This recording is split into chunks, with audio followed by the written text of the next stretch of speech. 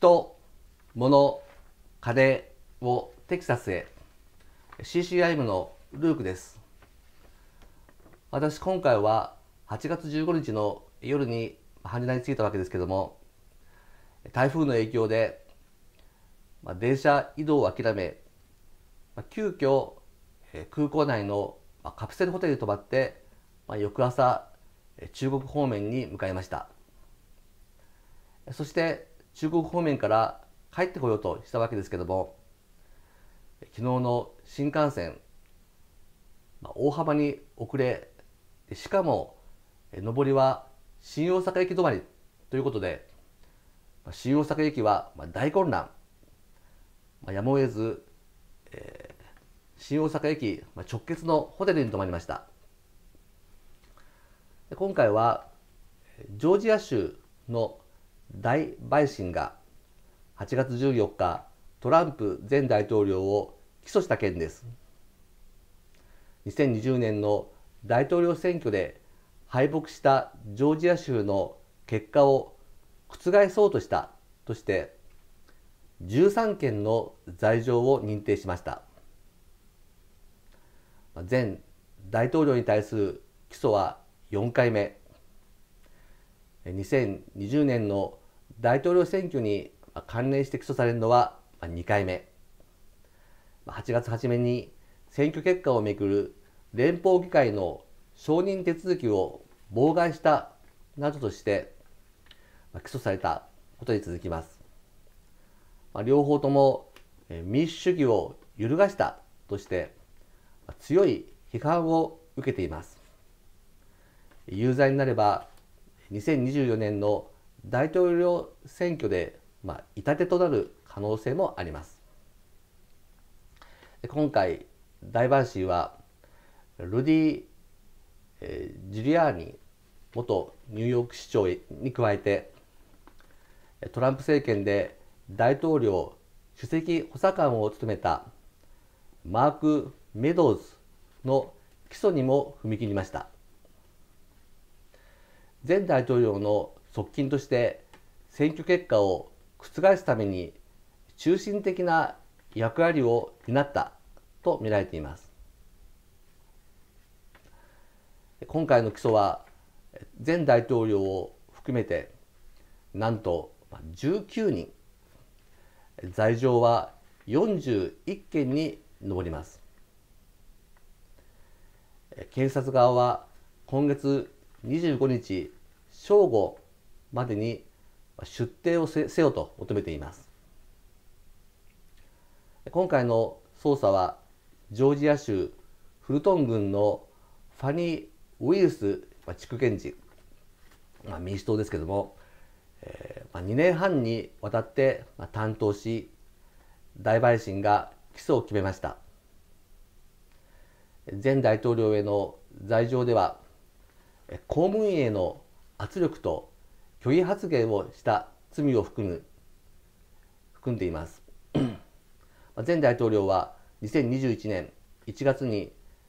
ジョージアの州務長官に電話をしてジョージア州の選挙結果を覆すための票を見つけるよう圧力をかけた疑いが捜査の大きな焦点となってきましたトランプは今月21日に記者会見を開いて無実を証明すると表明しました。ジョージア州での選挙不正を明らかにする反論の余地がない報告書を公表するとしています。トランプは自身の SNS トゥルースソーシャルでこの決定的な報告書の結論に基づき私や他の者たちに対する訴追は全て撤回されるべきだと主張しました。罪は完全に晴らされると強調しています。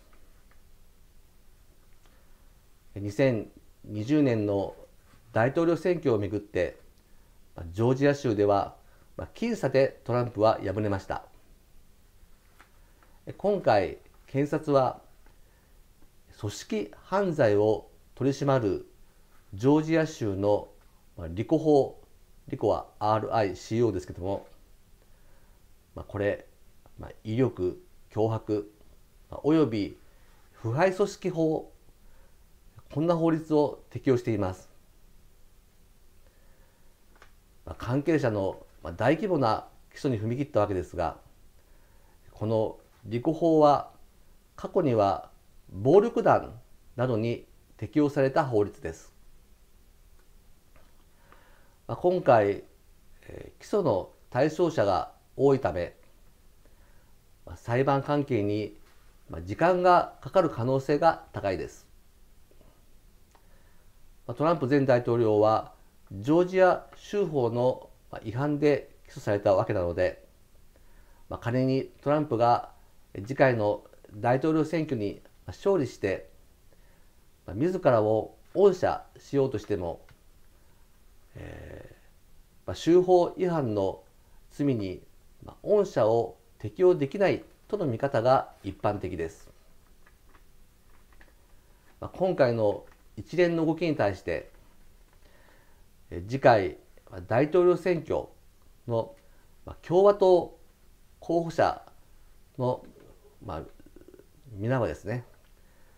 えー、検察を大いに批判しています。デサンティスフロリダ州知事は今回の起訴は、えー、政府の犯罪化の一例だとしています。共和党にとっていいことだとは思わない。あごめんなさい、アメリカにとってですね、いいことだとは思わないとしています。スコット上院議員も性的に対して司法を武器にするのは非アメリカ的で容認できないとしています。共和党のマッカーシー下院議長はジョージア州の過激化地区の検事はバイデン大統領に倣ってトランプ前大統領を攻撃し自分の政治キャリアの資金集めに利用していると述べて検事とバイデンを批判しました。ますます分断が広がるアメリカです。以上テキサスのルークでしたチャンネル登録よろしくお願いします。